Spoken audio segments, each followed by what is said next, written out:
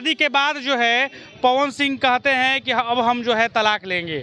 और आरा के civil court में वो अर्जी डालते हैं। और दूसरी तरफ़ समझिए कि बलिया में जो है, ज्योति सिंह जो है, उनको पैसा के लिए जो है कि मेरा जीवन अर्पण के लिए वो केस दायर करती है। अब समझिए कि बहुत सारे लोग समझते होंगे कि भैया बलिया में क्या केस है, आरा में क्या केस है तो हमने ये क्लियर कर दिया कि आरा में केस जो है, पवन सिंह ने किया है। और बलिया में जो है, वो ज्योति सिंह ने किया है। पवन सिंह से हमारी बात भी हुई है।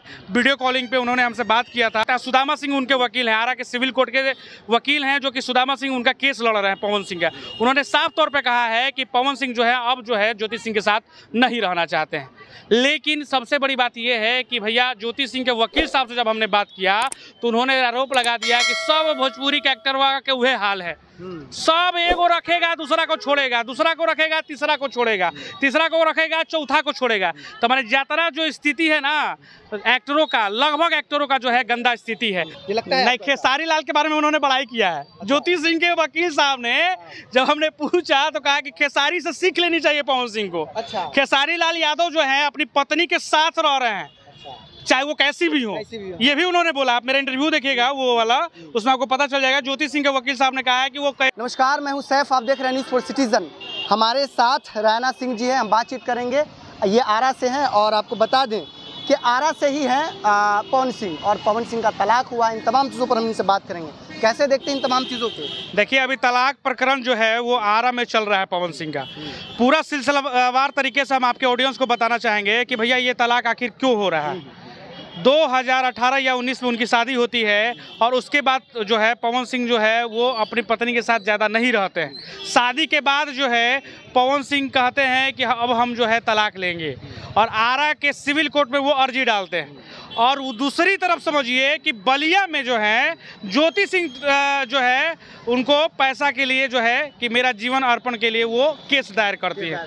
अब समझिए कि बहुत सारे लोग समझते होंगे कि भैया बलिया में क्या केस है आरा में क्या केस है तो हमने ये क्लियर कर दिया कि आरा में केस जो है पवन सिंह ने किया है और बलिया में जो है वो ज्योति सिंह ने किया है।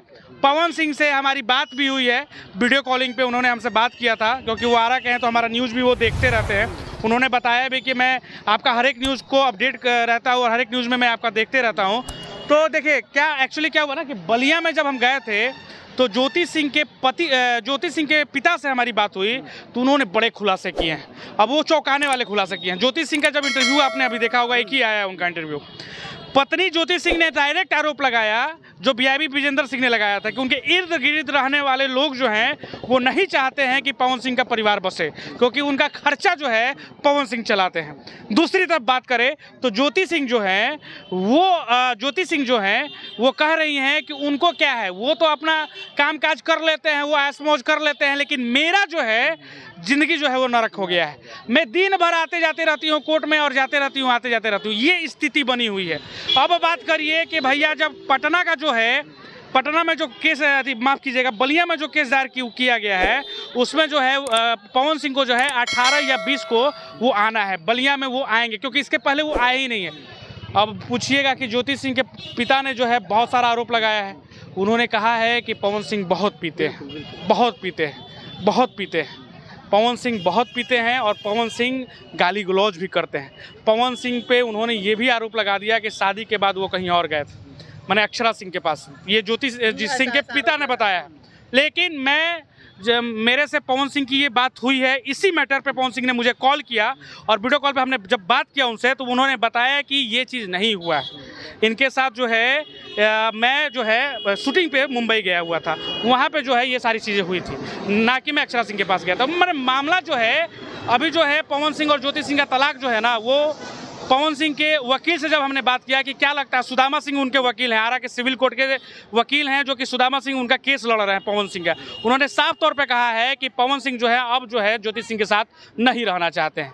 लेकिन सबसे बड़ी बात यह है कि भैया ज्योति सिंह के वकील साहब से जब हमने बात किया तो उन्होंने आरोप लगा दिया कि सब भोजपुरी के एक्टरवा के वह हाल है। सब एगो रखेगा दूसरा को छोड़ेगा दूसरा को रखेगा तीसरा को छोड़ेगा तीसरा को रखेगा चौथा को छोड़ेगा। तो हमारे यात्रा जो स्थिति है ना एक्टरों का लगभग एक्टरों का जो है गंदा स्थिति है। और उन्होंने कहा है कि ज्योति सिंह के वकील ने साफ़ तौर पे कहा है कि हम जो है साढ़े तीन लाख रुपया पवन सिंह से क्योंकि पवन सिंह खूब कमाते हैं।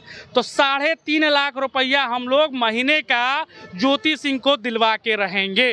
तो अभी जो है एकदम साफ़ तौर पे आप समझ लीजिए कि पवन सिंह का जो है घर गृहस्थी वाले जो सोचते होंगे कि घर गृहस्थी बस जाए पवन सिंह का वो अभी तक बसता हुआ नज़र नहीं आ रहा। आपने कहा कि सारे भोजपुरी इंडस्ट्री वाले एक रखे हुए हैं मैंने नहीं बोला है ये वकील साहब ज्योति सिंह के बोले हैं कि लगभग जो है मैंने जब पूछा उनसे सवाल किया कि अच्छा ये बताइए जो पवन सिंह का बड़ा नाम है पवन सिंह बड़ा कहा, जाता है कि भैया ये सुपर स्टार पावर स्टार हैं तो वो अपनी पत्नी को नहीं मतलब संभाल पा रही हैं या पत्नी के साथ नहीं रहना चाह रहे हैं? तो उन्होंने बोला कि यही क्या लगभग फ़िल्म इंडस्ट्री का ही वही हाल है। तो हो मतलब हो सकता है क्या ये खेसारी लाल का भी हो? ये लगता है नहीं खेसारी लाल के बारे में उन्होंने बड़ाई किया है। अच्छा। ज्योति सिंह के वकील साहब ने जब हमने पूछा तो कहा कि खेसारी से सीख लेनी चाहिए पवन सिंह को। अच्छा। खेसारी लाल यादव जो है अपनी पत्नी के साथ रह रहे हैं। चाहे वो कैसी भी हो। ये भी उन्होंने बोला आप मेरा इंटरव्यू देखिएगा वो वाला उसमें आपको पता चल जाएगा ज्योति सिंह के वकील साहब ने कहा है कि वो कैसी भी हो पति जो है खेसारी लाल यादव जैसा होना चाहिए।